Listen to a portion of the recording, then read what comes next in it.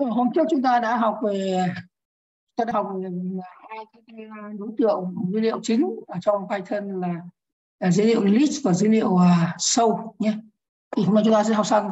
À, về dữ liệu sâu và list thì chúng ta còn quay lại rất nhiều lần nữa. Thì đây là hai cái em, đây là hai cái cái cái đối tượng dữ liệu cơ bản nhất mà ở trong chương trình lớp lớp 10 và trong trong tổng thể có tổng thể của, của Python thì có rất nhiều bài tập mà tất cả các bài tập thi học sinh giỏi hay bài tập vân vân liên quan đến thuật toán đều liên quan đến sâu và list hết. Nhưng mà hôm nay chúng ta sẽ học sang cái chủ đề mới là hàm. Vì là cái ờ, hàm là một cái công cụ rất quan trọng mà dùng rất nhiều trong tất cả các cái bài tập. Chuyên tôi sẽ ờ, nói trước cái phần hàm này. Thì ờ, hàm ở trong Python nó rất là nó rất đơn giản và chúng ta dễ dàng tạo cái hàm này. Thì cái hàm trong Python nó giống hệt như là hàm trong Pascal trong C, không có gì là, không có gì là khác cả. Vì tôi mô tả cái định nghĩa, cái tạo ra ra một cái hàm mới nhé. À thì trước khi mà nói về cái hàm mà chúng ta có thể tạo ra thì chúng ta đã làm quen được với những cái hàm có sẵn ở trong ở trong Python. Để lấy ví dụ nhé. Bây giờ tôi à, tạo một cái à, một cái dãy như này. Đưa ra một vài con số nhé, để ta hình dung nhé.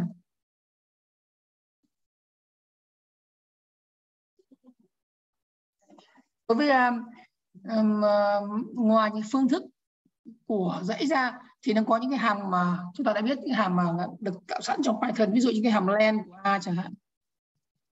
Để mô tả cái à, đại cái chiều dài các phân tử của A hay là hàm max. Max nếu mà A là dãy mà A là dãy mà toàn các số thì cái hàm max nó trả lại cái giá trị của phân tử lớn nhất là hàm min. Hàm min A là phần tử nhỏ nhất hay là hàm mắc. Lấy mình lấy ví dụ như vậy. Thì những cái hàm min mắc đó nó còn có nghĩa này ví dụ hàm tôi lấy min. Có thể viết là min của một ba sáu không. Có thể một dãy số một dãy một từ ừ, số bất kỳ. Thì hàm min nó trả lại giá trị là min của chúng. Vậy như hàm min hàm max hàm len là những hàm có sẵn ở trong ở trong ở trong Python. Thì những hàm này người ta gọi là cái hàm hàm mặc định thì đây tôi mô tả các bạn chúng ta có thể dùng cái lệnh này để chúng ta có thể ừ, chỉ ra tất cả các hàm có sẵn ở trong trong Python. Chúng ta dùng cái lệnh b và là dùng lệnh là bin bin in. Như thế này fc thì cái lệnh này nó sẽ em liệt kê ra mình tất cả những cái hàm và những cái um, uh, và những cái lớp hay là cả cả cái lớp mà có sẵn ở trong Python.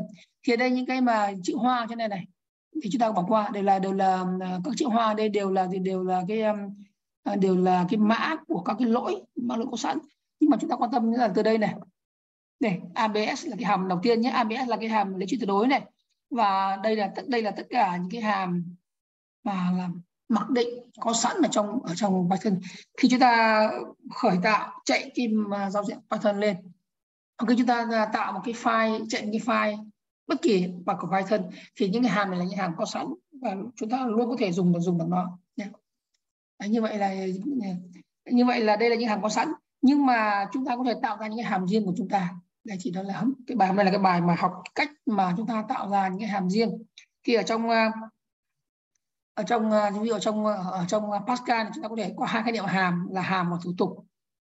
Hàm là khai báo bằng cái từ khóa là function còn thủ tục là cái từ khóa là procedure thì ở trong ờ, ờ, uh, Pascal người ta phân biệt ra cái hàm là là vật trả lại giá trị còn thủ tục là không trả trả lại giá trị. Còn hàm ở trong uh, ở trong C thì cũng có hai loại hàm một cái hàm là trả lại giá trị chúng ta phải khai báo cái giá trị của nó kiểu giá trị. Hai là cái hàm là hàm không có giá trị thì người ta gọi là hàm void chúng ta phải khai báo một cái hàm void thì ở trong Python thì uh, bản chất cũng như vậy nhưng mà chúng ta không cần phân biệt hàm giá trị hay là không giá trị, chúng ta, tất cả các hàm đều khai báo bằng một cái từ khóa là từ khóa def như thế này. Khai báo như sau, chúng ta dùng từ khóa def sau chúng ta mô tả cái tên của hàm ví dụ là chúng ta là cái hàm rất ngắn là hàm f thôi. Và sau chúng ta sẽ là phải mở ngoặc, đóng ngoặc, và trong ngoặc này chúng ta có thể mô tả cái tham số của hàm tham biến của hàm cụ thể là cũng có thể là là không có. Ví dụ như không có này chúng ta sau khi mô tả hàm mô tả tên hàm đóng ngoặc mở ngoặc cho là gõ hai chấm và xuống dòng. Thì à, sau đây à, theo nó là cái nhóm các lệnh mô tả. Hàm Đấy thì giống như là làm à, giống như là là đối với um, Pascal này có phải từ khóa là begin và end một thì đây có cái chúng ta phải hai chấm xuống dòng nhé. Ví dụ cái hàm này tôi sẽ làm như sau. Tôi sẽ làm cái lệnh là print như này print là là trên chào chẳng hạn. Ví dụ như thế nhé trên tào trên tào sau đó là tôi à, trả về. Giá trị thì à, muốn một cái hàm mà trả về giá trị tôi phải dùng từ khóa là return return sau đó là cái giá trị tự ra giá trị là một enter đây à, là cái hàm f là chúng ta vừa định nghĩa xong. Và cái hàm này nó không có tham số nhé và cái hàm này thực hiện cái lệnh là xin chào. Và đó là trả lại giá trị là một. Thì tôi gọi là tôi gọi f này. Thì nó sẽ lại xin chào và cả về giá trị là một ở đây. Thấy không nào đó. Thì à, như vậy là à, nếu mô tả hàm là như sau nhắc lại là rất đơn giản là là một từ khóa đếp sau đó là tên của hàm có thể có không có tham số và sau đó các cái lệnh mô tả hàm. Thì nếu mà có lệnh return mà sau return mà có cái à, giá trị thì hàm đó trả về giá, cái giá trị đó. Cái từ khóa return có nghĩa là gì? Là dừng lập tức là dừng ngay cái hàm lại dừng ngay cái hàm và trả về giá trị còn có thể là cái hàm mà không có từ đi thơ thì cũng sao. Nó chạy đến cuối và và, và nó dừng. Ví dụ như này. Hàm thứ hai là hàm mà không có từ đi thơ nhé. Ờ này. Như là có hai tham số là a phẩy b này. Nhé.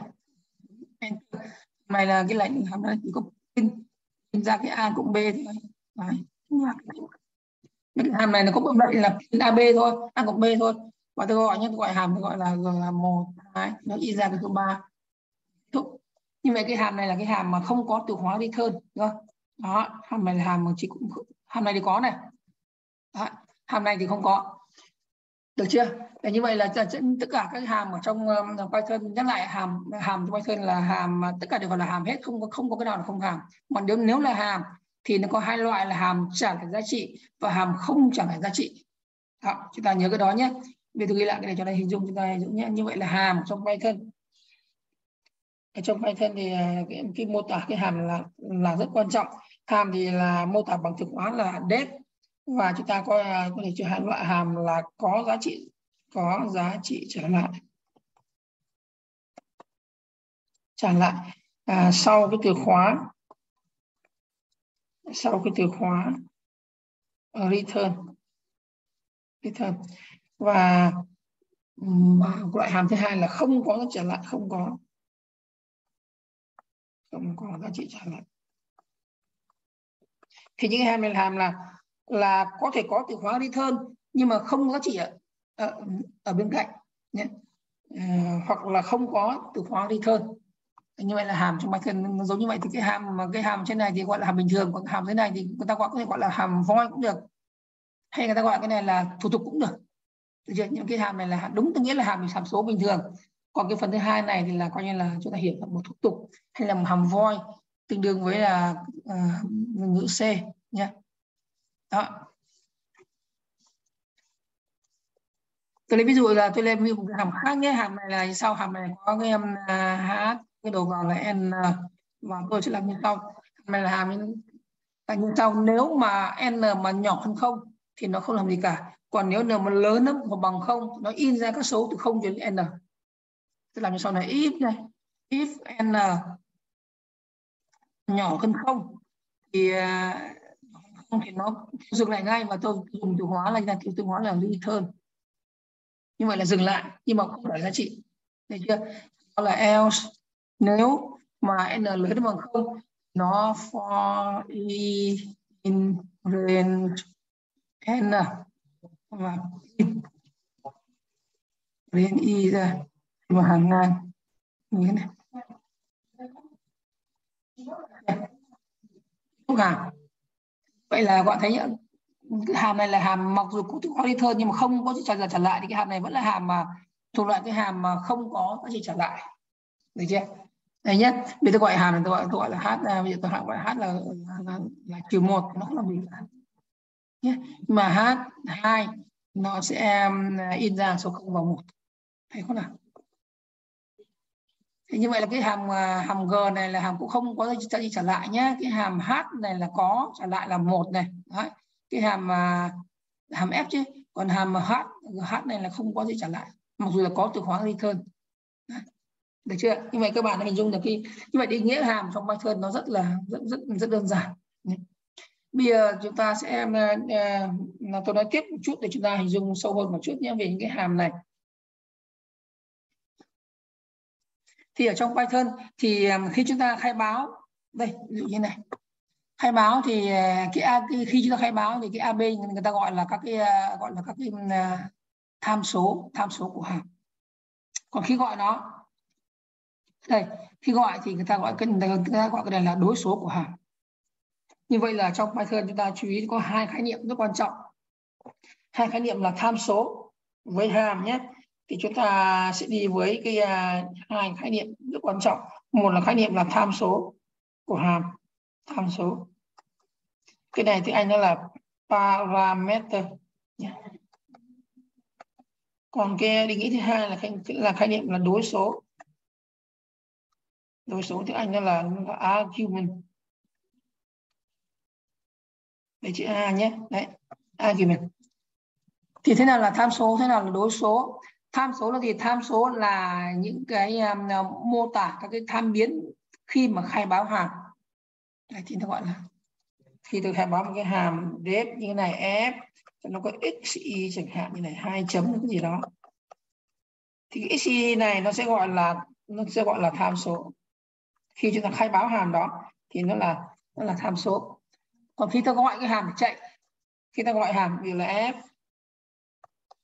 một hai hoặc tôi gọi là f có thể hấp là a b. A b là một cái biến nào đó mà ta khai báo từ trước. Khi gọi như này thì những cái một hai này hay là a b này thì người ta người ta gọi đó là người ta gọi nó là là là đối số. Như vậy có hai từ khác biệt nhau nhé. Đây là cái điểm đây là cái rất đặc biệt. Là khác biệt so với um, Pascal và C.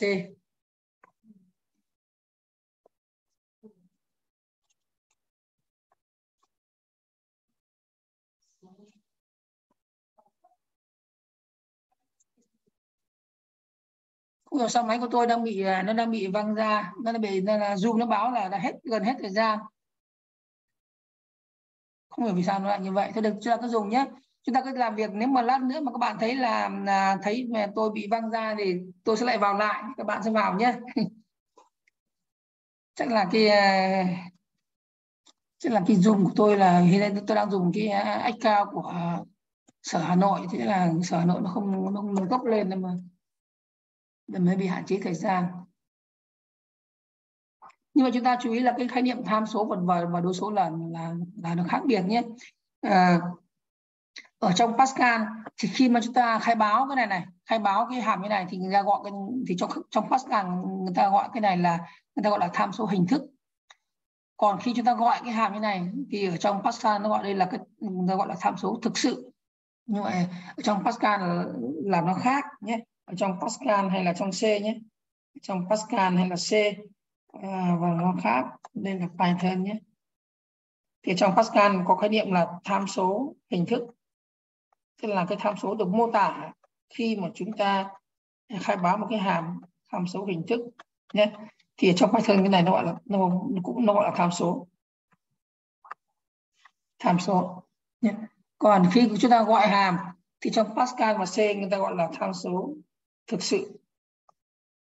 Tham số thực sự. Thì ở trong Python nó gọi là đối số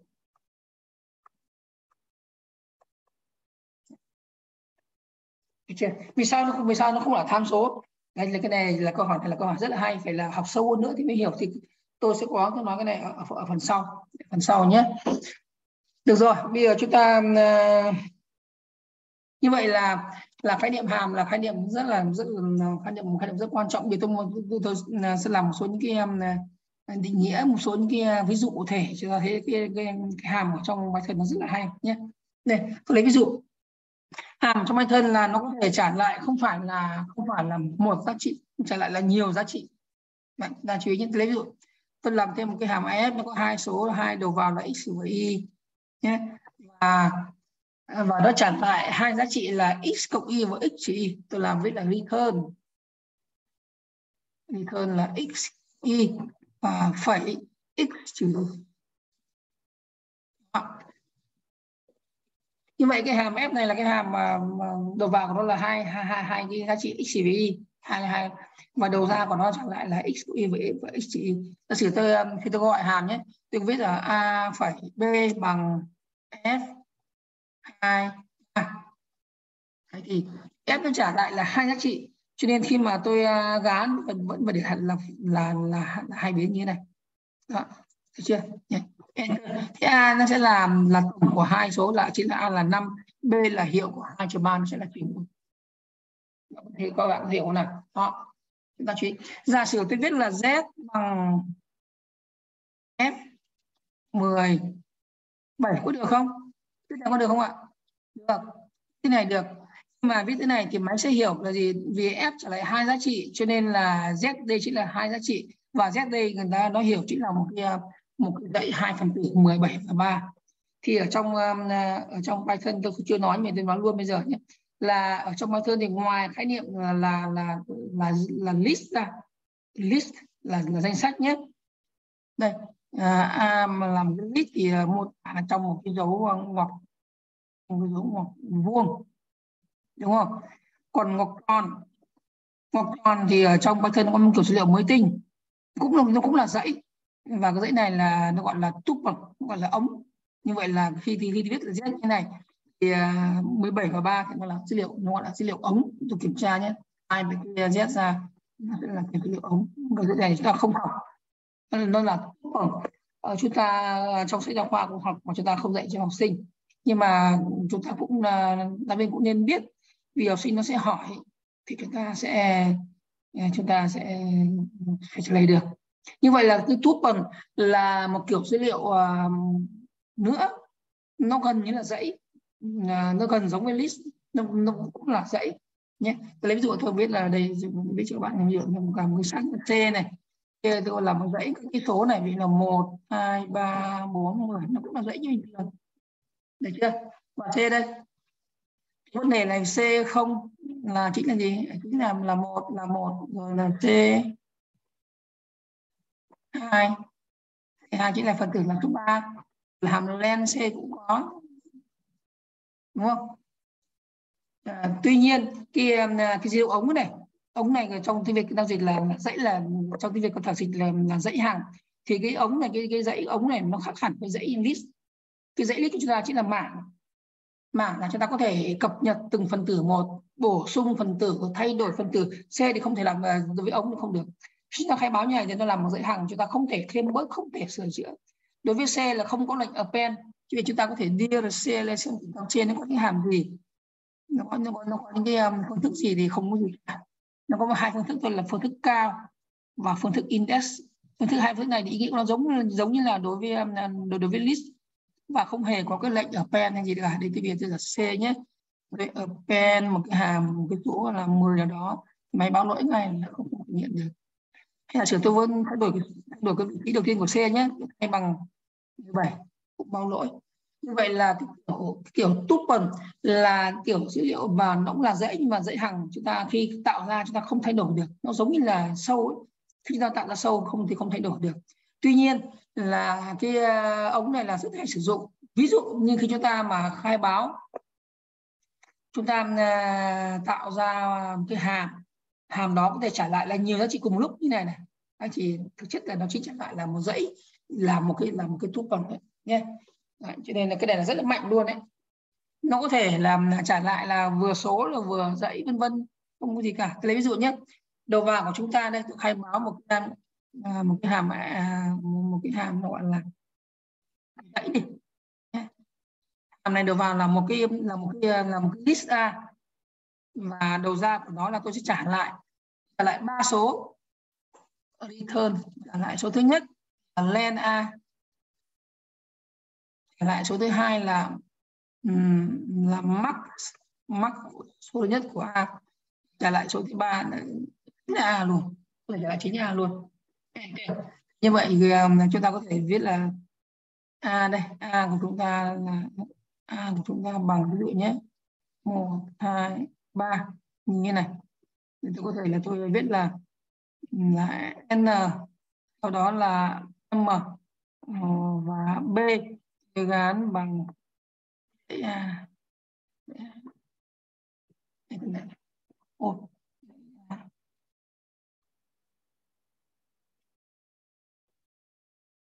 à, ở đấy tôi, tôi, tôi chưa làm xong.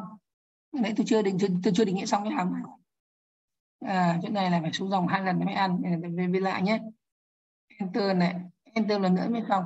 Rồi bây giờ tôi gọi lại này. Lại là nó sẽ ăn. Đấy. Thì B chính là A nhé. À, N chính là độ dài của dãy nhé. Và M chính là max, max của dãy A. Được chưa?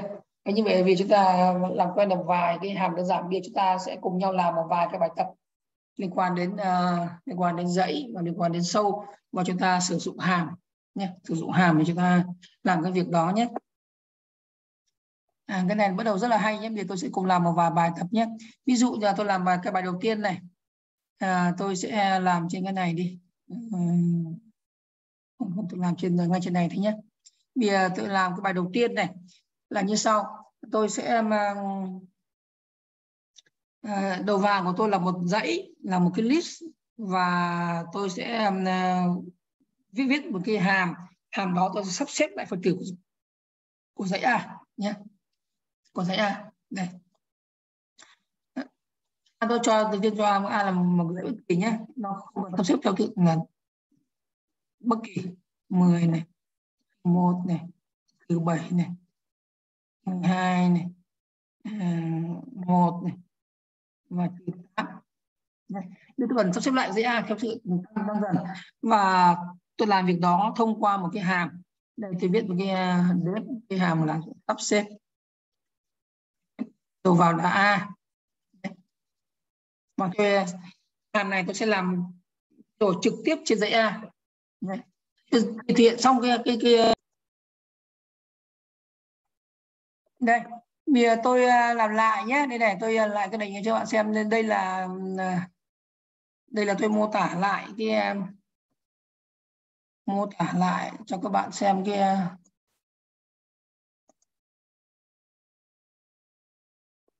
cái hàm à, cái hàm là cái sắp xếp các phần tử của dãy A. Đầu vào.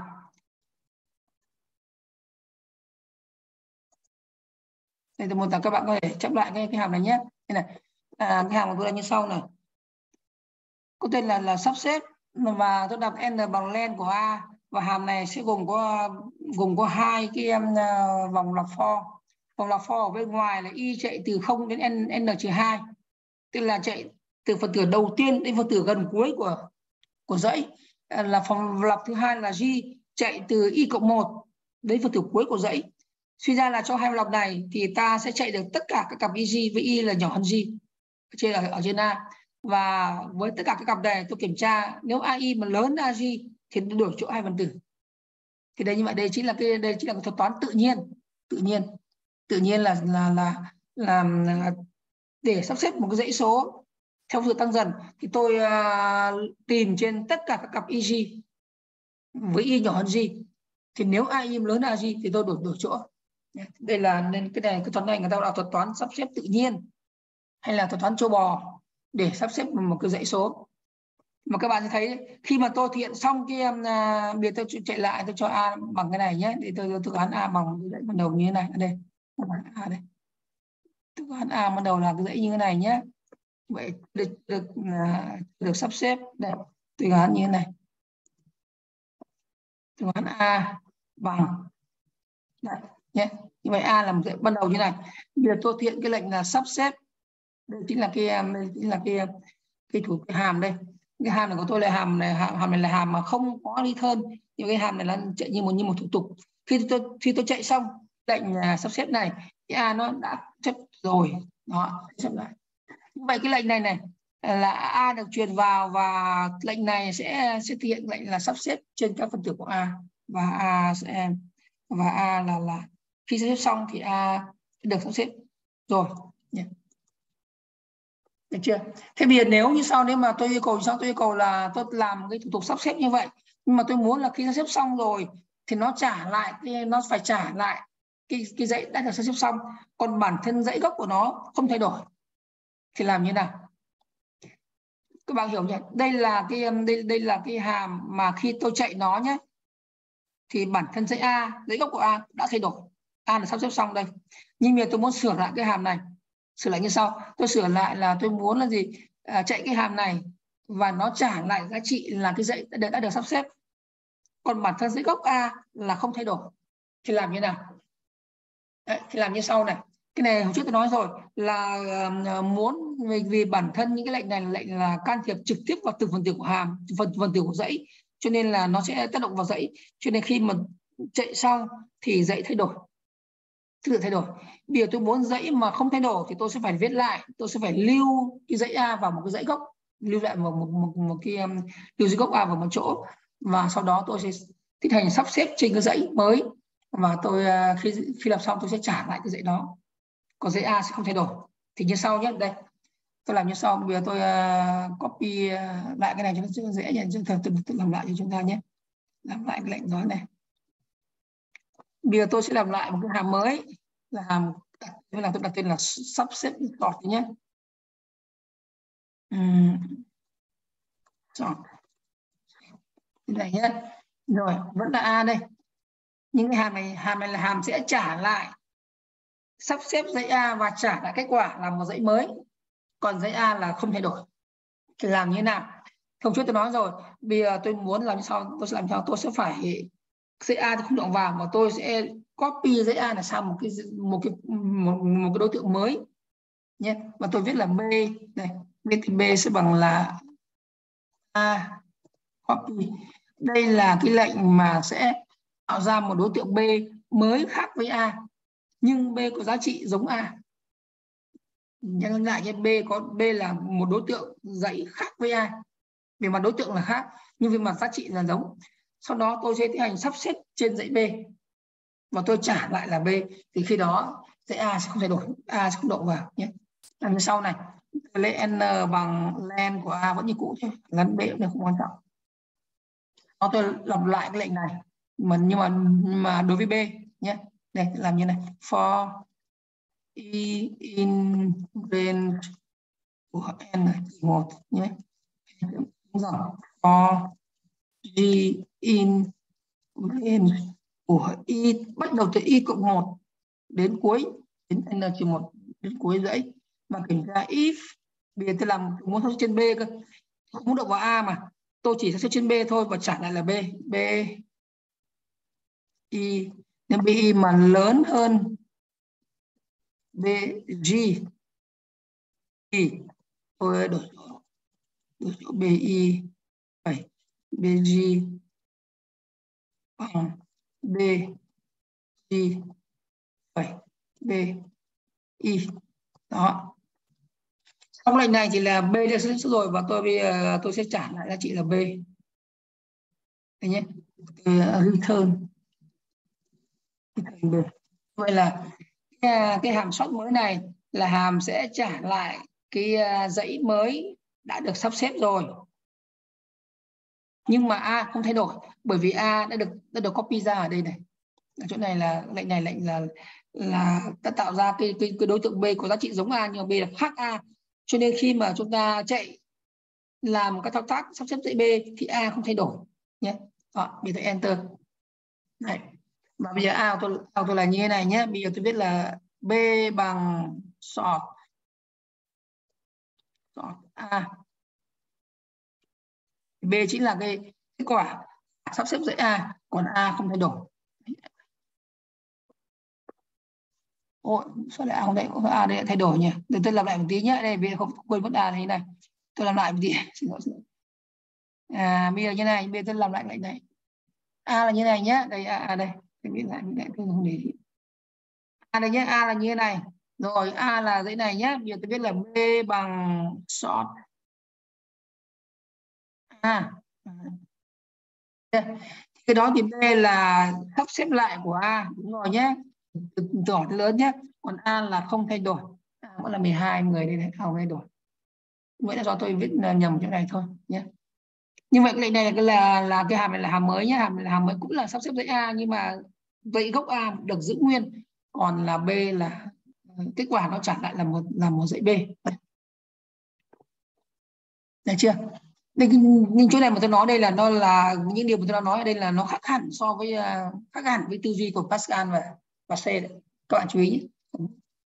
Cái tôi làm đây là nó khác hẳn nó không uh, cái tư duy là là của Pascal cái truyền giá trị cho cho cho hàm là truyền trị hay là chuyển biến ở đây nó không nó không không hoàn toàn khác hẳn luôn. Đấy chúng ta chú ý nhé. Rồi bây giờ tôi sẽ làm thêm à, làm thêm một, một số hàm khác nhé. Ví dụ bây giờ tôi làm cái hàm như sau này. Hàm của tôi là như này hàm của tôi là đặt tên tôi làm là nguyên tố chẳng hạn nguyên tố nhé. Và là n và làm số tự nhiên. Và tôi kiểm tra à, nếu n mà là nguyên tố thì trả lại giá trị là true còn n là không nguyên tố thì trả lại là false. Được chưa? Thì tôi tôi làm cái làm cái hàm như vậy. Hàm này là hàm rất hay dùng. Thì chúng ta có thể dùng có nhiều cách làm thì tôi mô tả một cách hàm làm thôi là tôi sẽ à, tôi kiểm tra nếu n mà nhỏ hơn bằng một thì tự động sẽ là không không là nguyên tố. Còn à, nếu n bằng từ hai trở đi thì tôi sẽ đếm tôi sẽ làm tôi viết mà viết chương trình tôi đếm các cái ước số thực sự của n nhé. Thì nếu mà khi số ước số này mà bằng một thì n là nguyên tố còn không bằng một thì n là là hợp số nhé. Tức làm như sau này. Đây bây giờ là if này ra trước này. Và n mà nhỏ hơn hoặc bằng một thì uh, hiển nhiên uh, theo định nghĩa thì n không là nguyên tố được return on như vậy là cái chỗ này là cái chỗ là để dừng ngay hàm. Nếu mà n nhỏ hơn một tôi dừng ngay lại tôi không cần tính nữa. Trả trả và, và lập tức là dừng lại luôn dừng lại hàm và trả lại là form. Và bây giờ ở đây tôi bắt đầu tôi mới làm tôi mới tính nhé. Thì tôi ờ, đặt đặt biến cao để đếm các số thực sự của số thực sự ừ, của n. Thì làm như sau. Tôi có thể dùng cái vòng for như này for i in range chạy từ đâu? Chạy từ à, một một n trừ một. Như vậy. Làm cách làm đơn giản nhé. Và tôi kiểm tra nếu mà y là ước của n, thì tôi tăng cao lên một đơn vị. Nhé như là if n mà chia cho y phép này y mà lấy số gì là không. Nhé còn nếu là nếu y là ước của n tôi tăng cao lên một đơn vị.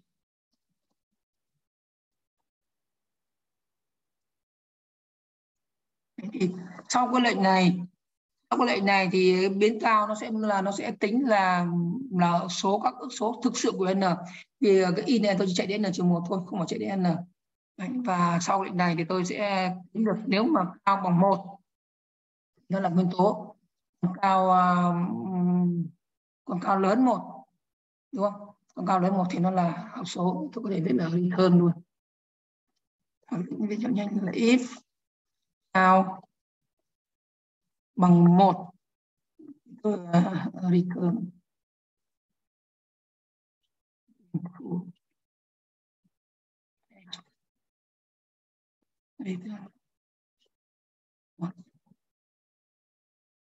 gọi là như vậy, đây là đây là hàm mà nó có khá nhiều cái từ khá nhiều cái từ khóa return. Đây là một một return này, hai return này, và đây là đây là ba return.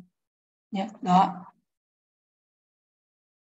và bây giờ tôi enter xuống dòng kết thúc cái, à, cái hàng này. Xong.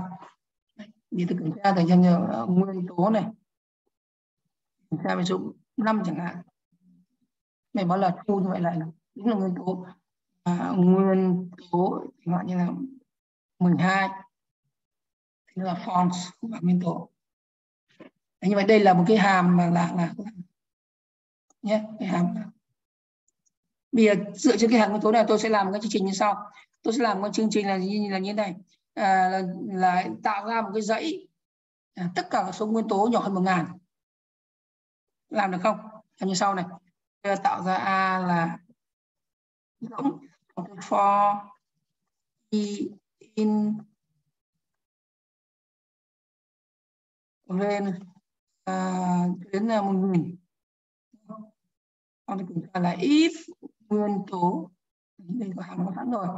Ờ, ít nguyên tố thì sao thì tôi bổ sung a vào à, append i Đấy. xong và bây giờ cái a này chính là cái dãy gồm tất cả các số nguyên tố à, từ nhỏ hơn nhỏ hơn 999 Đấy. Nào? Như vậy chúng ta sử dụng cái cái à, cái cái, cái, cái, cái, lệnh này. Như vậy cơ hàm nguyên tố ta biết rồi đúng không? Chúng ta dùng hàm nguyên tố này. Còn hôm trước tôi nói rồi chúng ta có thể dùng cái lệnh là tạo dãy nhanh, tạo list nhanh thì là như sau? Chỉ dùng một lệnh thôi. Tôi dùng là a bằng một lệnh thôi là tôi có thể ra đúng là đúng dãy này luôn. Tức là tôi lầm lệnh tôi mô tả tất cả cái này dùng một lệnh thì là như này. A cái này nguyên tố nguyên tố y đúng không không thế này chứ y for y in rain một nghìn nguyên tố nguyên tố y Tức là A này sẽ gồm tất cả các cái giá trị y à, với y chạy trong cái dãy từ 0 cho đến à, à, uh, 999 nếu nguyên tố là đúng nếu nếu y là nguyên tố thì như vậy A là chính là, chính là cái này A chính là cái này. Thấy không nào? Nhưng mà đây là cái lệnh à, gọi là lệnh tạo nhanh. Như tôi nói là cái lệnh nó gọi là list comprehension là lệnh tạo nhanh. Và mình tự enter tạo luôn. Và A chính là A chính là cái à, dãy là các nguyên tố từ à, trong nhỏ hơn là các số tự nhiên nguyên tố nhỏ hơn thấy không nào? Rất là nhanh. Nhưng mà chúng ta chỉ cần lệnh này thôi. Như vậy chúng ta cần cái hàm này cái hàm này làm những cái hàm này là cái hàm rất là quan trọng. Rất hay dùng nhé cái à, cái mô tả cái à, cái list comprehension này, này rất là hay luôn rất là hay. Đấy, anh cũng làm. Dạ.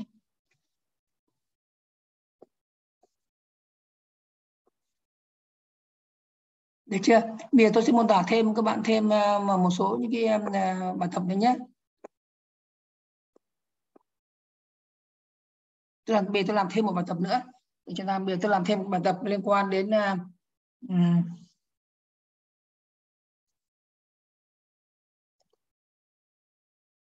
liên quan đến dãy. Bây giờ như này nhé. Bây giờ để tôi một chút tôi làm cái nào đó nó liên quan đến hàm. Thì nó hay hơn nhé.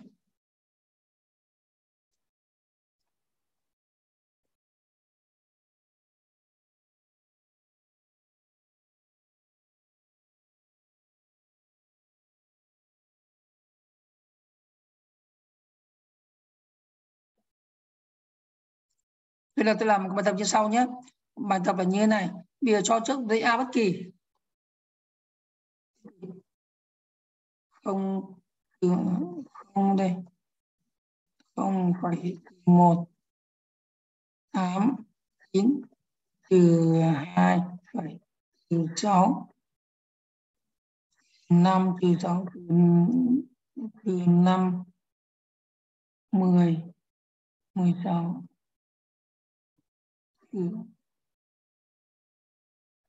yeah. bài và như mai được bài như sau. Đầu bài là yêu cầu là xóa tất cả các cái uh, xóa tất cả các cái phần tử là âm nhỏ hơn không của a xóa tức là tạo ra một dãy mới và xóa con tử một nhỏ hơn không của a được chưa? Đấy nhưng biệt thì đây có những cách sau. Cách thứ nhất là tôi à, tạo b là như thế này giống đúng không? Hoặc tôi ờ, duyệt. Duyệt x trên a. Này như là if. Bây giờ if uh, là not x cho nên dễ if not x nhỏ hơn không. Tức là x thì không nhỏ hơn không. Nếu là bằng không đấy thì uh, bổ sung vào b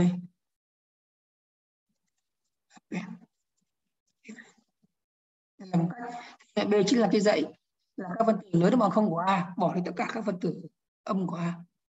Đó là cách thứ nhất cách thứ hai là tôi à, dùng à, nhanh là như sau. Đây, nhanh là y for y in, a, if, đúng không? If, x nhỏ không? If lớn nó bằng không? Hoặc là not thì nhỏ không cũng được. Đây là cách làm nhanh nhé. Đây là cách làm à, làm chuẩn tắc. Chuẩn tắc for, tôi tạo một dãy b dãy b là rỗng và for x in a như này. Ở đây là cái um, tạo nhanh nhé nên nó nó nó, nó cứ là như này. Ô ô ô e for e if. Bây giờ rỗng ra nào nhỉ? À đây là x gì? Bây nhầm bây nhầm. Đấy, này, này, này, nhé cái này mới đúng này đây là y được y nhá là tất cả các y mà for y ra mà ít y lớn bằng không thì b mới đúng bây giờ đầu bài của tôi làm thay đổi một chút là tôi muốn là sửa ngay trên a cái không không thiết là trả lại giá giá trị là b sửa ngay trên a thì làm như nào Đấy, điều sửa ngay trên a thì có mà tôi có thể làm trực tiếp trên a như sau nhé đây làm như này tức là và dãy a tôi muốn sửa trực tiếp trên a. Tôi dùng tôi làm nào tôi làm chạy trên a nào đó, tôi bỏ đi tất cả, xóa đi tất cả các vector nhỏ hơn không? Thì làm như nào? Đây, thì làm như này nhé. Nếu chúng ta làm như này là sai này bây giờ giả sửa này sai. Bây giờ for for x in a in a, if x nhỏ hơn không, thì a remove remove x nếu như thì bị sai nên tôi làm thử chạy thử nhé. Đây là nếu mà chạy thử như này nhé. Là for x in a ít x nhỏ hơn không thì dùng dùng cái dùng cái um, à, phương thức remove remove để mà xóa x đi khỏi a. Làm chạy thử nhé. Thì à, a nó vẫn à, a nó vẫn còn tầm sáu này. Như vậy cái cái này bị sai. Cái này các bạn à, đề nghị các bạn về nhà tìm hiểu kỹ nhé. Và trả lời cho tôi xem vì sao nó lại sai nhìn thoáng qua tưởng đúng, nhưng mà lại sai.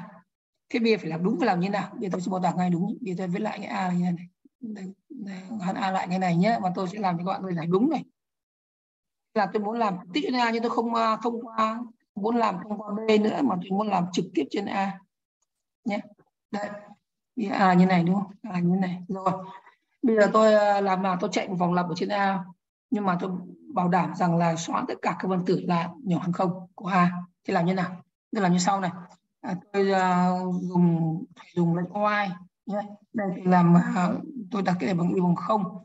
Đó tôi dùng lệnh y khi mà y nhỏ hơn len a thì còn thực hiện. Như sau này bây giờ ít này. X y mà nhỏ hơn không?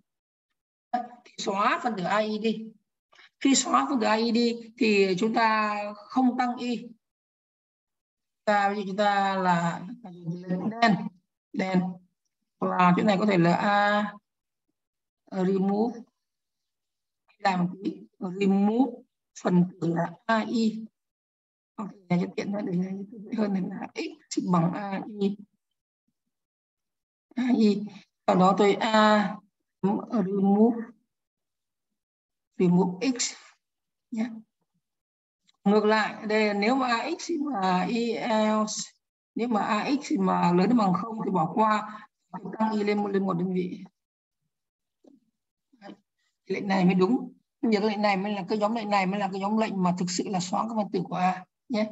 Này các bạn này về thiện trở lại thử nhé để enter này. Đấy, à, bây giờ đúng là các phần tử. A gốc này a gốc là là cái này này thì ta nó sẽ xóa là trừ 1 này, trừ 2, trừ 6, trừ 5 và 11. Còn lại là là 0, 8, 9, 10 và 16. Phải lại này mới đúng nhé. Đây, chúng ta chú ý. Được chưa? Đấy như vậy là một vài cái điều mà, mà chúng ta trước khi chúng ta đi học thêm thì uh, sâu hơn nữa về hàm thì tôi uh, mô tả các bạn một số những cái à, những cái thủ tục uh, những cái mà ví dụ liên quan đến hàm hàm ở trong ờ, Python là rất đặc biệt dùng rất rất rất rất là là là nhiều nơi nhé. Thôi bây giờ tôi sẽ em uh, mô tả tiếp sang khái niệm của hàm để chúng ta có hình dung. Đây. Bây giờ tôi quay lại hàm này. Nhé thì ờ, vậy chúng ta đã biết khái niệm là đâu là, là đâu là tham số của hàm, đâu là đối số của hàm nhé. Bây giờ tôi nói thêm uh, sang một khái niệm nữa rất quan trọng là tôi muốn mà cùng các bạn ở trong cái cuốn sách nhà tin học người của đồng trí thức ấy, thì có một hẳn cái bài nói về là là vùng miền tác vùng tác dụng miền tác dụng của biến ở trong hàm ở trong trong Python nhé. Yeah. đây tôi muốn tôi muốn mô tả các bạn là sang này. Đây. Bây giờ tôi muốn sang một cái chủ đề mới là à, là xác định cái miền à, miền à, miền xác định hay miền miền tác động của biến của biến đối với hàm. Trong Python.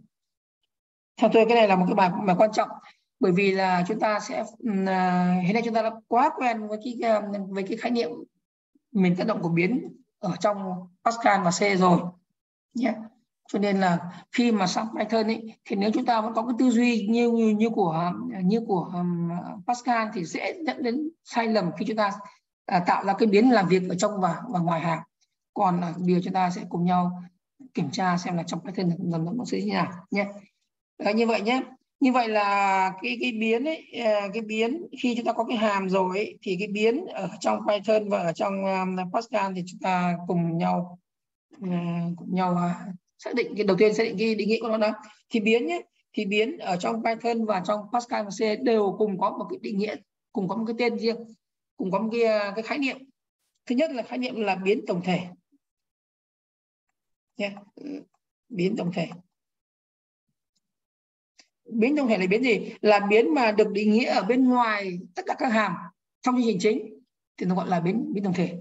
Còn biến mà được được định nghĩa ở trong một hàm thì người ta gọi là biến địa phương nhé người ta gọi là biến địa phương. Được chưa? Cái này thì anh nó, nó gọi là, là global. Global. Variable yeah còn cái này là tiếng anh nó là local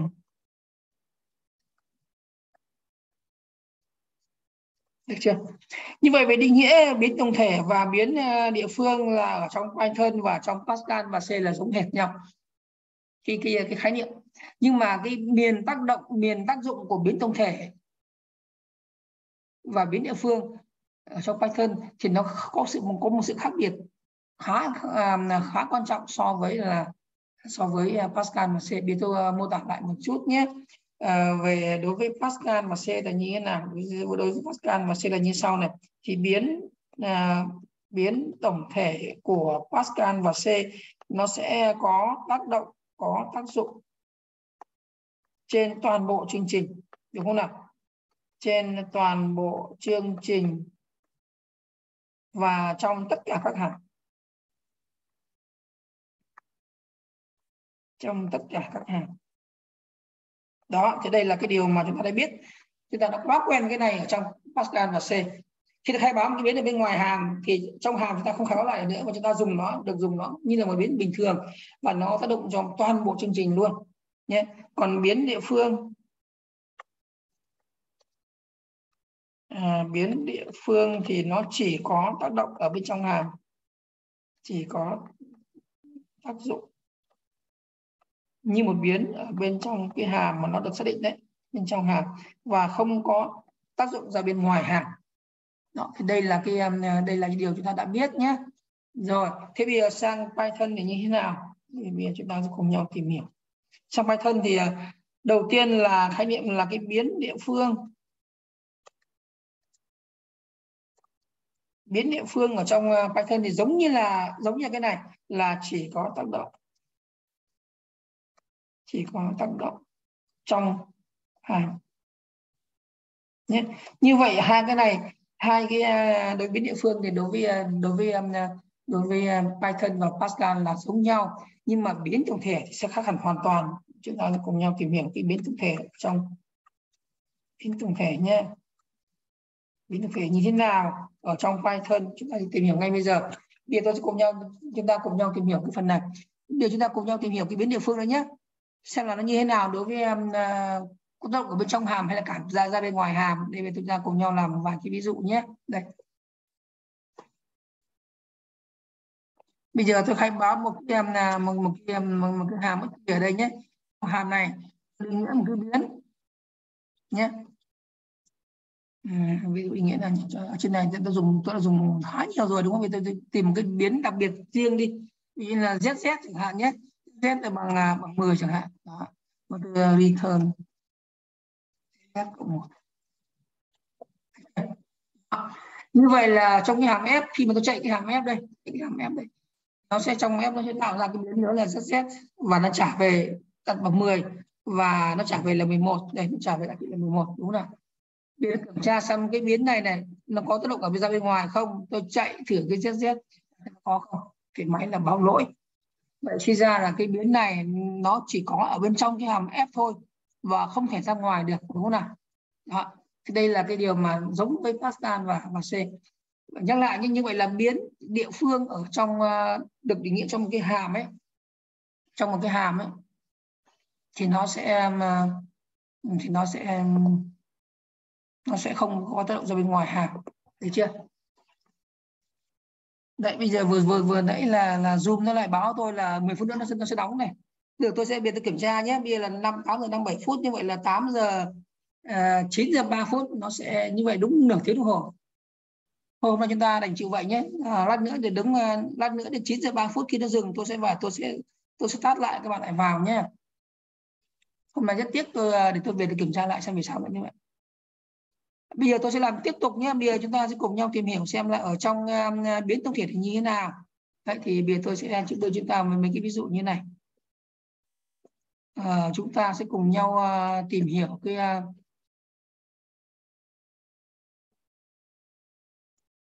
à, tìm hiểu cái um, biến tổng thể nhé. Biến thể chúng ta trên sau này. Ý thứ nhất này là biến tổng thể biến uh, biến tổng thể sẽ không có tác động ở bên trong hàm không có tác dụng bên trong hàm.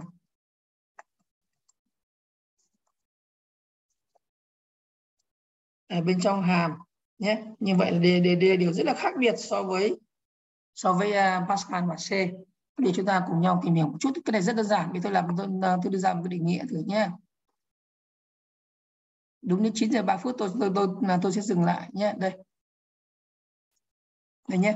Bây giờ tôi hãy báo một cái biến là n đấy n là biến bên ngoài là 10 đúng không nào?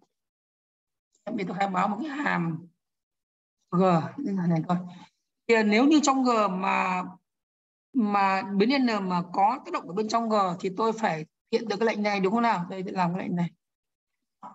Ừ, return như vậy là nếu như mà biến n mà là biến tổng thể đấy có tác động ở bên trong hàm thì gọi cái lệnh này là là, là, là, là nó phải ăn và tôi gọi g là nó sẽ phải trả lại là 11 hệ thử nhé báo lỗi. Đấy báo lỗi này suy ra là gì? Suy ra là cái biến này là máy nó không hiểu. Định thì máy không hiểu. Và sau đó suy ra là cái biến n này là không có động ở bên trong hàng thấy không nào? Như vậy là chúng ta đưa ra một cái định nghĩa một cái đầu tiên là biến tổng thể không có tác động ở bên trong hàng thấy không nào? Để chúng ta ờ, định nghĩa cái số 2 như vậy đối với biến thể nó rất là khác biệt so với uh, Pascal nhé. Hai là bên trong hàm, bên trong của hàm. Mặc dù là biến tổng thể không có tác động, nhưng mà bên trong hàm là sẽ nhìn thấy nhìn thấy biến tổng thể. Nhìn thấy nhé, nhìn thấy biến tổng thể. Nhưng không phải nhìn thấy nó như là một biến, mà nhìn thấy nó là như một đối tượng. Như một đối tượng dữ liệu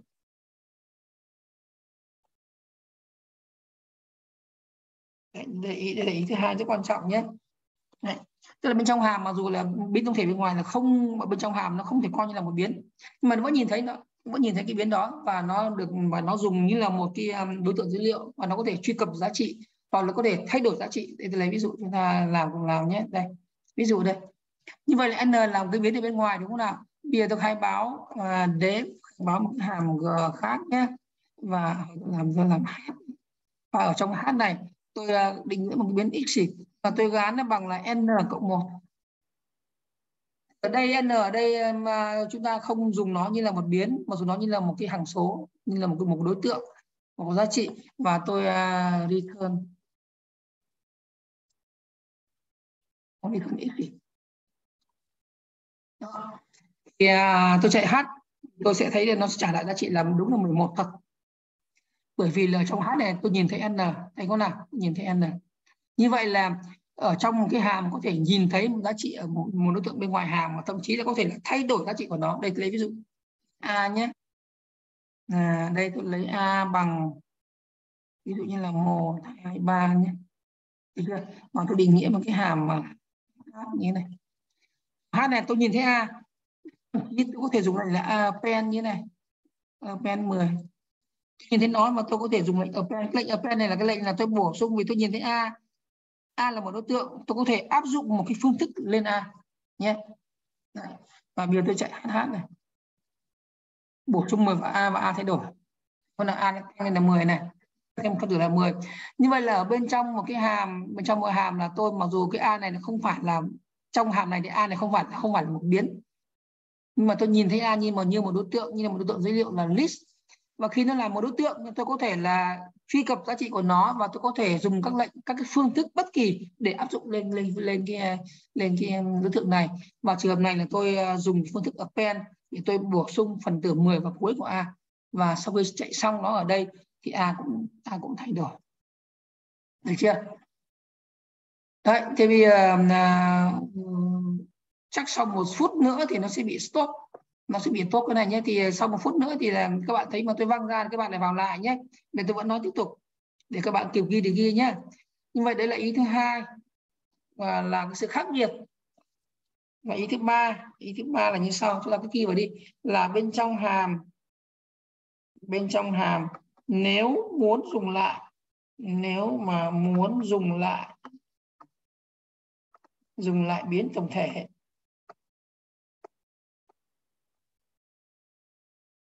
thì cần khai báo lại thì cần khai báo lại bằng từ khóa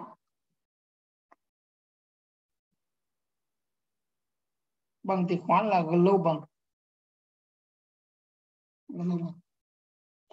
Đấy chưa? Như vậy là khai báo lại nhé. Khai báo lại. Đó. Đây, tôi lấy ví dụ nhé. Đây. Tôi lấy n đây bằng 10 này một cái khai báo một cái hàm. Bây giờ giả sử tôi muốn dùng lại cái biến n ở bên trong hàm f ờ, khai báo lại là global global n, như này. Khai báo lại. Và tôi có cái viết là n bằng n cộng một. Là ăn như bình thường. Và return n. Bình thường. Đó, thì tôi gọi f nhé nó trở lại là 11 và n đúng là 11 thôi.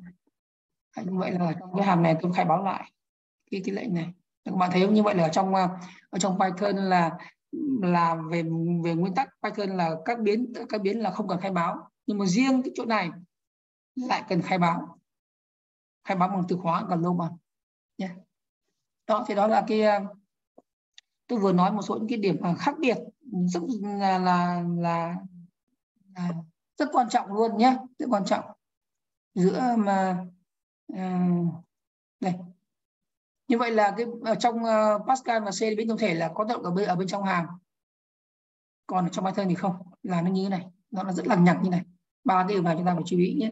Để khi mà sau này khi mà ở trên ờ, ba cái chỗ này thì ở trong cuốn sách giáo khoa tin 10 thì cứ nói trí thức ấy, thì tôi cũng uh, trình bày rất ngắn gọn ba ba cái ý này. Mặc dù rất là ngắn gọn không nhiều nhưng mà cũng nói uh, cho đủ tất cả các cái ý này thì đây là cái theo tôi đây là những cái chỗ mà quan trọng.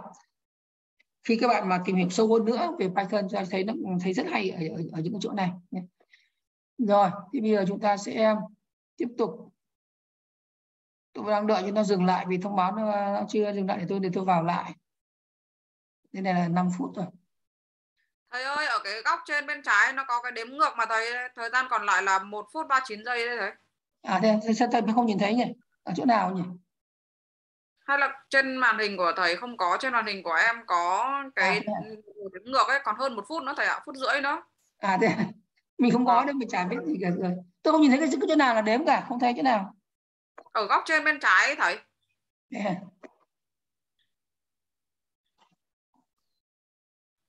bây giờ còn 1 phút 13 giây nữa thầy ạ. Thế ok rồi. Nhưng mà trong nói trong trong cái trạng thái nó bị này nó bị ức chế quá nhé thế thì đó là cái điều mà tôi vừa là uh, nhấn mạnh cái cái sự cái sự, cái sự khác biệt giữa giữa giữa giữa cái à, biến ở trong cái à, hàm nhé. Bây giờ để mà bây giờ tôi sẽ nói sang một chút sang cái cái cái khái niệm mà sâu hơn một chút về khái niệm là giữa tham biến và đối số của hàm nhé. vì sao là, là nó định nó phải định nghĩa là là khác biệt giữa tham biến và đối số? Thì như thế này nhé tham biến. Không phải là tham số chứ không phải là tham số và và, và đối số. Tham số của hàm nhé. À, và đối số. Tham số. Thì tham số là gì? Tham số là những cái tham biến mà khai báo. Khi mà chúng ta khai báo hàm thì nó là nó là, nó là tham số. Còn đối số khi chúng ta chạy hàm chúng ta truyền giá trị vào hàm thì nó là đối số. Thì bây giờ tôi nói thêm về tôi nói chuyện à, cái đối số này thì khó khó rất nhiều lần tôi sẽ không à,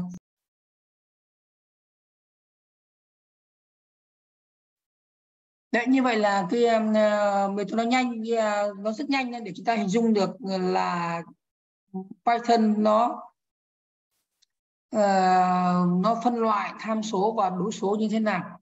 Ở mức độ rất sơ khai nhé.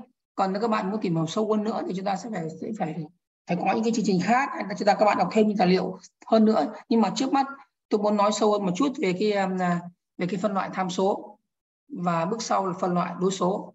Được chưa? Thì khi định nghĩa một cái hàm chúng ta um, à, chúng ta nhớ lại ví dụ chúng ta có cái hàm print chẳng hạn cho nhớ lại nhé. Cái hàm print là cái hàm mà nó ta có thể in ra một cái nào đó. Đây. À, ví dụ là a này. Đúng không? Không cần như là print nhé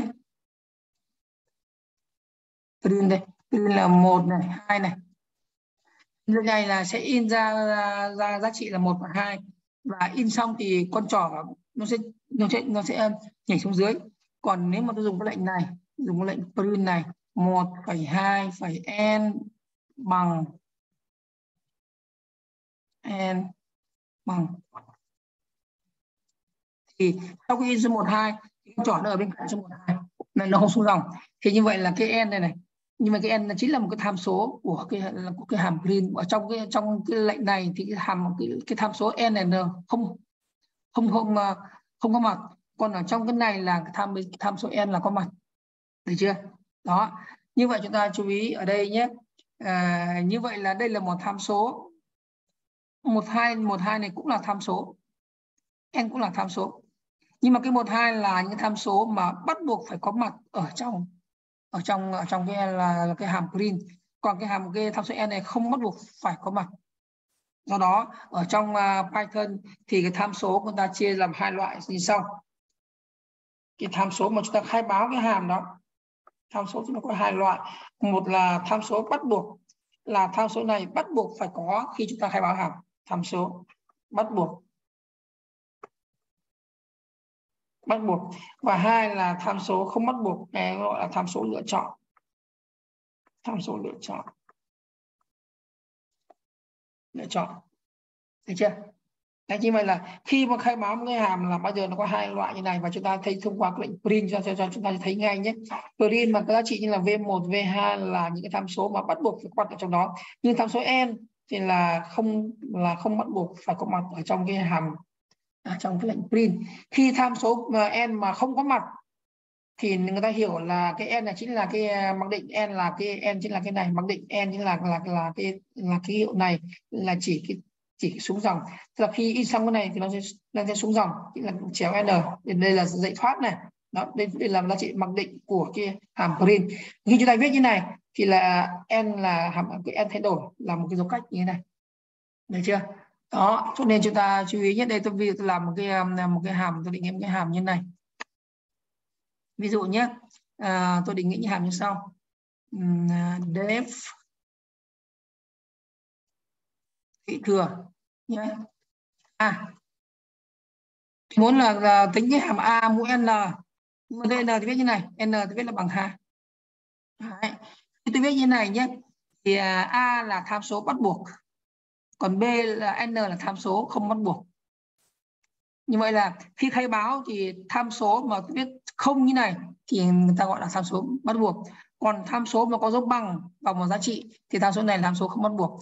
Thì ý nghĩa là, ý nghĩa là như sau nhé, ý nghĩa là như này. Đây, return parameter return. Return là a mũ n, a mũ n bây giờ tôi um, chuyện tôi viết nhầm là, là lút thừa thôi không sao. Tôi gọi là cái hàm là gì? Gọi cái um, biến là là là 15 thế này. Khi khi tôi gọi hàm nhé khi tôi gọi một hàm thì uh, cái tham số n là này là không là không không có mặt. Không có đối số này thành bên đối số không có mặt nhé vì uh, vì là cái đối số này là cái là cái tham số này là tham số không bắt buộc cho nên có thể là không có mặt. Khi không có mặt thì máy nó hiểu rằng là chính là n bằng 2 nhưng cái hàm này nó trả lời chính là trả lại chính là 15 15 mũ 2 em 225 khi tôi viết là đầy đủ ra là lũy thừa lũy thừa là 15 mũ 5 chẳng hạn. 5 thì trả lại là trả lại là 15 mũ 5 Chưa? như vậy là khi khai báo thì à, đây là như vậy là khi khai báo mà chúng ta chỉ ghi mỗi tham số này không thôi thì tham số nó gọi là tham số bắt bắt buộc. Còn tham số lựa chọn là tham số này, là tham số sau đó dấu bằng sau đó là một giá trị. Thì ý nghĩa là như sau. Ý nghĩa là nếu tham số này mà có mặt đối số, ở đối số khi gọi hàm, thì chúng ta, thì chúng ta truyền giá trị đúng là là, và đúng là cái giá trị của cái tham số đó. Còn nếu tham số này mà vắng mặt, thì máy tự động truyền cái số 2 này vào. Đã hiểu nhỉ như vậy là mặc định chính là n bằng bằng hai. Đó chúng ta có hiểu không nhỉ? Thì như vậy khi chúng tôi, tôi gọi là, là lũy thừa như thế này đúng không? Lũy thừa là 10 này thì nó là 10 là 10 bình phương. Cái thứ là 10 mũ 3 như này thì là 10 mũ 3 thì ý nghĩa của nó là như vậy. Như vậy những cái tham số mà làm số mà làm lựa mà là gọi tham số lựa chọn ấy là tham số mà không bắt buộc phải có mặt.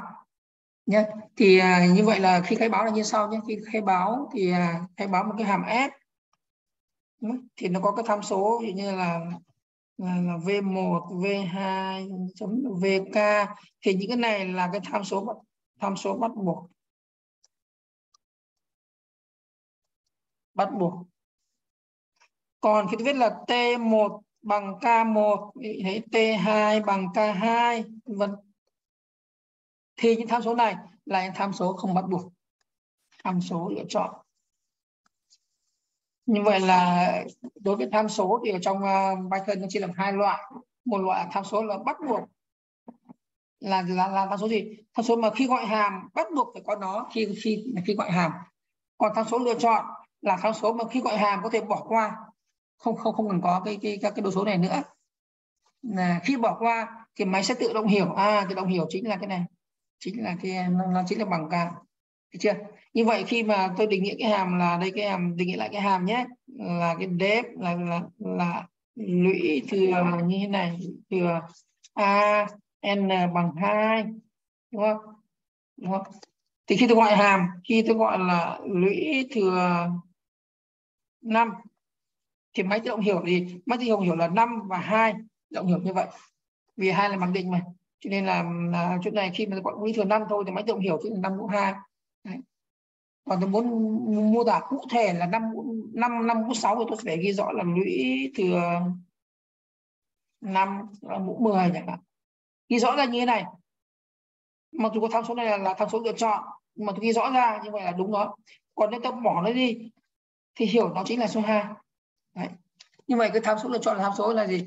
Là khi mà Ờ, mà mà dùng để gì? Để để mà ghi lại cái giá trị mặc định của nó mặc định của nó. Cho nên mà khi mà tôi gọi nhanh tôi tôi tôi, tôi, ờ, tôi không cần nhé. Như vậy cái hàm green của chúng ta đấy cái hàm green nhé. Cái này của chúng ta là nó có cái tham số value là tham số làm là là là bắt buộc. Tham số n là tham số là lựa chọn. Thì n lựa chọn của nó mặc định là chéo n là, là chính là chính là số dòng. Các bạn thấy không nào? Nó còn có hai tham số ba tham số lựa chọn nữa tham số xếp. Xếp là cái là cái tự cách và tham số là file. Cái file này thì lát nữa là đến buổi sau tôi sẽ nói. Khi chúng ta làm việc với các cái um, kẹp dữ liệu. Như vậy là cái uh, lệnh print là nó có rất nó có rất nhiều như tôi mô tả lại lệnh print nhất định theo kiểm tra lệnh print của chúng ta. Theo là để kiểm tra cái phát lệnh print đây chính lệnh print này, nó là lệnh này này. Thấy không nào? Này nhé như vậy lệnh print này nó có mà các cái value ở đây chính là các tham số. Bắt buộc tham số set, tham số là lựa chọn một, tham số n, lựa chọn hai, tham số file lựa chọn 3 và tham số flash, lựa chọn 4 thấy không nào? Nó rất nhiều phức tạp. Nhưng thực tế chúng ta chỉ hay dùng là cái value là một này, và cái n thôi cái n này mà chúng ta không để không có n ấy thì máy hiểu là khi in xong là xuống dòng. Vì đây là chữ n còn chúng ta ghi rõ là n bằng dấu cách thì máy hiểu là in xong sẽ hiện hiển thị dấu cách ở phía dưới. Nhưng mà cái n này gì cái n này là cái n này là cái string mà bổ sung vào cuối của các value khi mà chúng ta in. Đấy, ghi rõ đây đây n này. Còn cái set này là mặc định của nó là dấu cách. Tức là mặc định giữa các value này này. Các giá trị này là in là là cách nhau bởi dấu cách. Được chưa? Đấy lấy ví dụ nhé khi chúng ta khi mà chúng ta in như này này khi chúng ta in print cái à, cái à, cái, cái tự một này và cái tự không. Này nhé ra này máy sẽ in là một xong cách với là không một cách không. Tôi muốn in liền vào nhau tôi làm như nào? Dùng này dùng lại là print một phẩy không sau đó tôi dùng cái um, à, tôi dùng cái um, à, cái tham số này chỗ này này. Đấy, dùng sao tôi dùng là cái là set à, tự rỗng. Đó tỷ lệ này nó sẽ in ra in ra một và không cách nhau bởi cái, cái set này là cái từ set là separator là là là in ra là là, là rỗng suy ra là một sẽ in liền với không? Enter nhé một in liền với không? Bạn nào? Như vậy là xếp cái xếp là một cái um, à, tham tham số lựa chọn của cái hàm print n cũng là một tham số lựa chọn của hàm print được chưa? Đó. Vậy rất là hay đúng không? Thôi được cái đồ số tôi nói sau. Bây giờ là trước khi kết thúc tôi nói thêm ý nghĩa nữa đi ý nữa nhé bây giờ tôi um, à, tạo ra một cái hàm là cái hàm không có chẳng là trả lại nhé thì tôi lấy cái hàm f như này thôi. Đấy. là tôi um, à, tạo một hàm rỗng tôi được tôi dùng là một, hai, ba nạn này nhé như vậy hàm f là hàm mà không có giá trị trả lại. Được chưa? Không có, không không không có giá trị trả lại.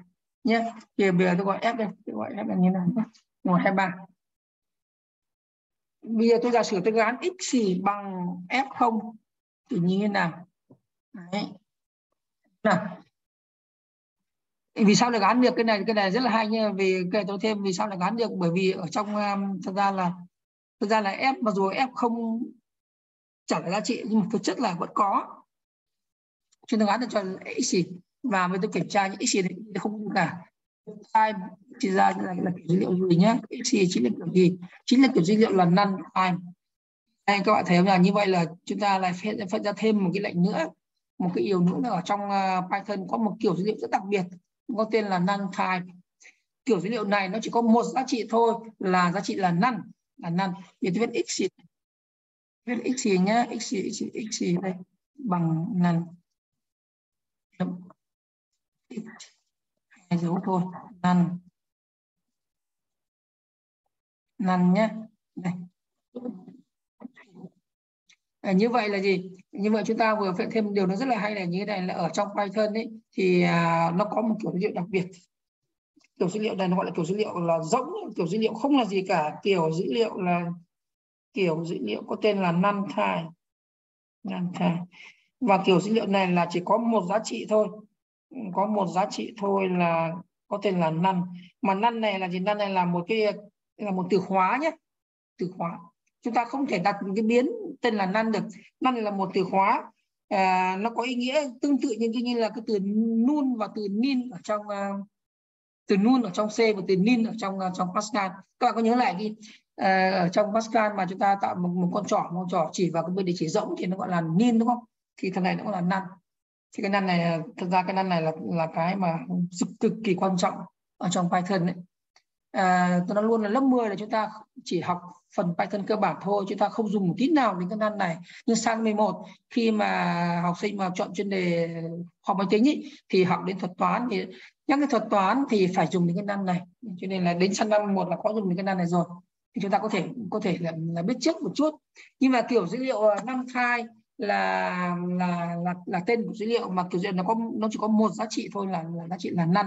Nhưng mà khi mà tôi viết là x gì đây bằng cái hàm như này thì là cái um, là x chỉ chính là năn đây. Vậy suy ra gì vậy suy ra là tất cả các cái hàm mà không trả lại giá trị thì nó sẽ trả lại giá trị là năn. Để tôi phiền một định nghĩa nhé. Như vậy là à, tất cả các cái hàm à, như vậy là các cái hàm mà không trả lại giá trị không trả lại giá trị của Python tức là những hàm mà không có cái từ khóa là là là return giá trị ấy, thì suy ra là là vẫn trả giá trị và hàm này hàm các cái hàm này là sẽ trả lại trả lại giá trị duy nhất là năm nhé. Thì năn nghĩa là rỗng đấy thì năn như vậy mình vẫn trả lại giá trị nhé. Nhưng mà là là, là, là giá trị năn đấy, chúng ta chú ý.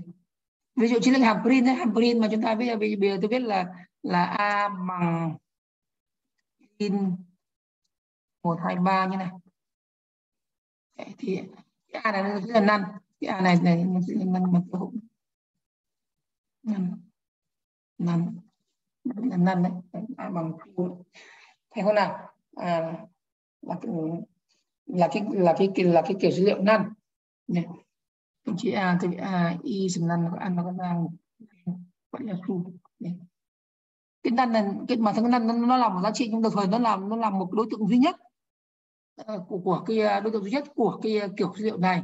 Và nó là ừ, và cái a khi mà tôi biết là a bằng print hay là a bằng một cái hàm bất kỳ mà hàm này không có gì trả lại không có từ khóa return thì suy ra rằng a này chính là đối tượng năn chính là đối tượng là, là thuộc kiểu năn khai mà chính là bằng năn nhé là tôi nhắc lại là năn là nó tương tự như là nun hay là nin ở trong ờ, mà là, là rỗng. Nôm là một đối tượng rỗng đối tượng rỗng.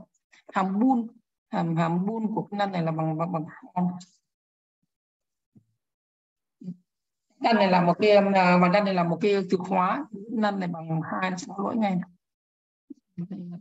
Nó không được khai báo biến có tên là năn và năn là cái ờ, là một từ khóa trong Python. Được chưa? Lại như hôm nay hôm nay là cái buổi mà tôi ờ, có một cái buổi mà ừ, nói về hàm và tổng kết những cái điều cơ bản nhất về hàm nhé. Thì sang buổi sau chúng ta bắt đầu ôn tập sâu hơn về hàm. Và nếu có thời gian tôi sẽ nói à, những cái điều sâu hơn nữa. Còn hôm nay hôm nay cũng chỉ nói những điều rất là cơ bản. Và gần như tương đương với cái với cái với với cái với cái sách giáo khoa. Thôi chúng ta nghỉ ở đây nhé. À, tôi dành thời gian tôi sẽ về tôi sẽ lát nữa tôi sẽ phải kiểm tra lại xem vì sao cái vì sao cái zoom của tôi nó lại bị mất thời gian như vậy? Chúng ta nghỉ nhé em chào thầy. Ừ. Khi nhiều thì các bạn cứ hỏi lên, lên nhóm nhé ừ. chào thầy. Ờ, chào các bạn